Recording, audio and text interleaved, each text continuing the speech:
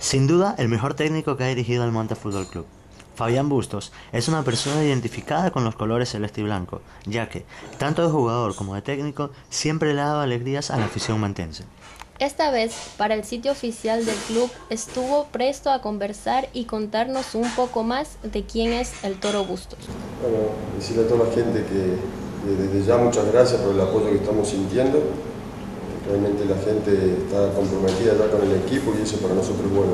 Siendo un referente del fútbol de ascenso de su país como jugador y con un gran paso lleno de goles en equipos ecuatorianos como Deportivo Quito y el Manta, Bustos nos relató un poco de su trayectoria y alegrías que como goleador vivió. Salí de un club de, la primera de Córdoba que se llama San Lorenzo de Córdoba, en dice inferior y debuté en primera. A los 17 años ya jugaba, luego eh, pasé a Nacional de Montevideo, eh, ahí pasé a cuando ya tenía 20 años.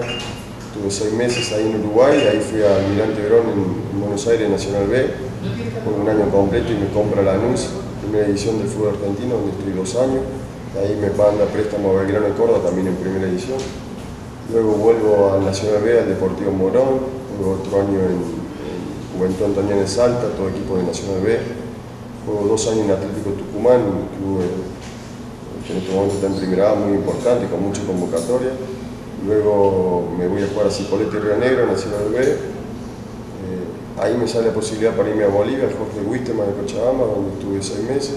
Ahí llegué, luego de esos seis meses pasé al Quito, donde estuve casi dos años, Deportivo Quito. Eh, luego en Macará seis meses, en Manta seis meses.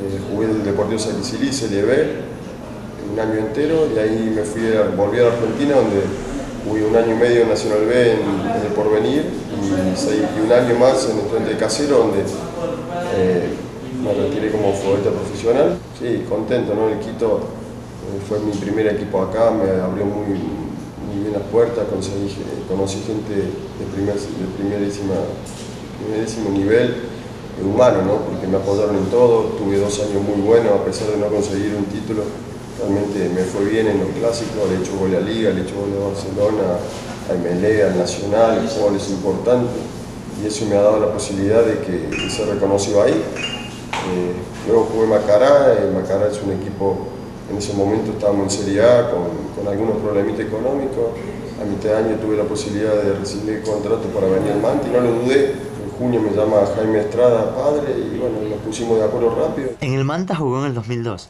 siendo pilar en el primer ascenso a la A. Como técnico llegó el año pasado y logró la clasificación a liguilla final. ¿Qué opinión tiene del club y su trayectoria en él? Siempre con mucha felicidad, la verdad, Manta me ha caído bien. Eh, mi llegada la gente me ha tratado de la mejor manera. He hecho cosechados amigos y bueno, creo que la etapa de jugador me ha, dado esta posibilidad de estar eh, hoy dirigiendo esta institución de Serie A muy importante y haciendo las cosas a entender bien.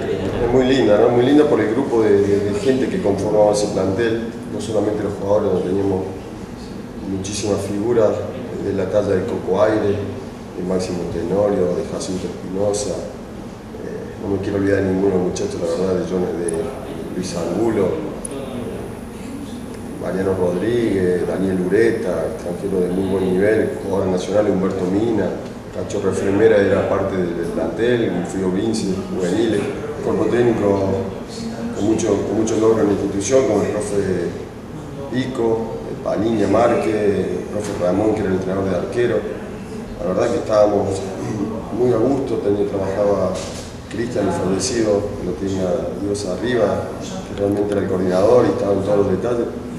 muy, muy lindo, ¿no? la gente de utilería, Carlos, la gente de la dirigencia, Jaime Estrada padre, con Tomás Ceballos, no me quiero olvidar a nadie, ¿no? pero con todos los dirigentes. Hicimos las cosas muy bien, me tocó llegar a mitad del campeonato, el equipo estaba en sexta posición, eh, hicimos una segunda etapa excelente, la peleamos muy bien, llegamos a, conseguir un triunfo, un, logro para, esta institución, primera vez en la historia, muy linda. En la época de jugador, porque realmente el plantel que teníamos así era, ¿no? era mucha jerarquía, mucha jerarquía para Serie B, todo lo que nombré, realmente un equipo muy competitivo y, se hace fácil que las cosas salgan bien cuando realmente tenemos la materia prima. La gente que apoyaba ese equipo eh, estaba muy metida, Jaime, Jaime Estrada, padre, eh, siempre con el amor que le tenía a esta institución, nos tenía al, día en los sueldos, como estamos en la actualidad, al día en los premios. Todo el jugador solamente tenía que preocuparse por entrenar, eh, pensar en, hacer un buen partido, sacar los resultados y bueno, y se dio eso, ¿no? Y ahora tengo la suerte de que me tocó llegar también el año pasado, en, en mitad de año, con un equipo que estaba mal en, los números, pero que económicamente se fue acomodando, no, no faltó nunca nada, pagaron los premios, pagaron los sueldos, eh, al jugador le da tranquilidad, logramos algo muy lindo y, bueno, terminamos clasificando una liguilla que fue muy buena y ya desde este año una dirigencia más nueva todavía, con mucha más gente, con Jaime Estrada, eh, hijo en, la presidencia, con Andrés Herrera, el vicepresidente y toda gente nueva, apoyando a gente que ya estuvo en el club como Robert Vélez. Realmente un grupo, hay que nombrar a más de 10 personas, se me van a olvidar algunas, así que no se molesten ninguno. ¿Cómo fue su paso de jugador a director técnico? Casi sin pensar, ¿no? Porque eh, me habían hecho una limpieza en la rodilla, una operación en septiembre, en noviembre, en diciembre estuve bien, hice una pretemporada muy buena en enero, competía, tuve los primeros seis meses muy bien, cuando vino el receso del fútbol en Argentina se cambian los contratos en, junio, no en, diciembre. Y, un ex compañero mío, que y amigo personal, me ofrece ser su ayudante de campo. Yo ya había hecho el curso técnico, me había recibido, había estudiado. Así siempre sabía que, quería ser técnico, así que tuve la, suerte de, no sentir la transición porque fueron 10 días en cual me decidí, ya empecé a trabajar con el cuerpo técnico, en la formación del plantel y, y casi ni lo pensé. ¿no? ¿Qué sintió llegar el año pasado? y no solo salvar al equipo del descenso, sino llevarlo a las instancias finales del torneo. Bueno, sí, fue complicado, pero eh, siempre digo que nunca te van a dar mal los equipos que van bien. Los equipos que van bien, que van primero, segundo, tercero, cuarto, nunca cambia el técnico. Cuando te llaman, te llaman equipos que están en una posición muy cómoda.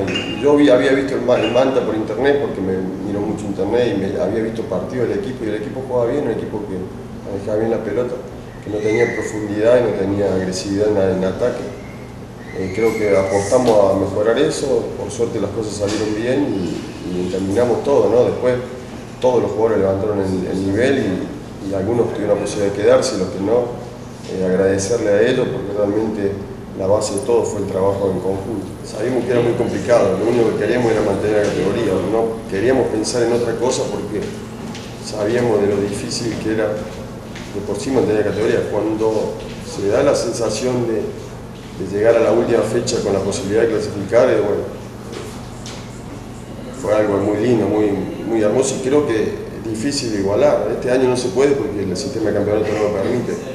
realmente para un equipo con un presupuesto como el nuestro, haber eh, clasificado y pelear igual igual en una liguilla, con equipo, Liga termina creo que haciendo un punto más que nosotros simplemente, porque le tenía tres de acumulados esas cosas son, creo que cuando uno, cuando pasa el tiempo las analiza se va a dar cuenta del logro que hicieron los jugadores. El camerino del Manta, su relación con los jugadores y sus expectativas con el club. El camerino es un camerino alegre, ¿no? llegamos de, la concentración, lo primero que hay es poner música, los chicos ponen música, lo maneja Cristian porque tiene un, equipo de música que lleva todas las concentraciones. Eh, siempre Tito, el centro de las cargadas, eh, de parte de todos los muchachos, es un tipo muy carismático, con mucha, mucha personalidad y muy agradable para los jugadores.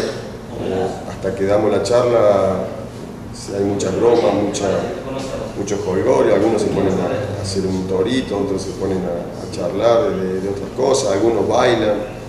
Eh, siempre empezamos, tratamos de tener un ambiente muy, muy placentero para que ellos le, se sientan bien, ¿no? Y luego empieza la charla técnica, ahí sí estamos trabajando, concentrado en lo que uno pretende.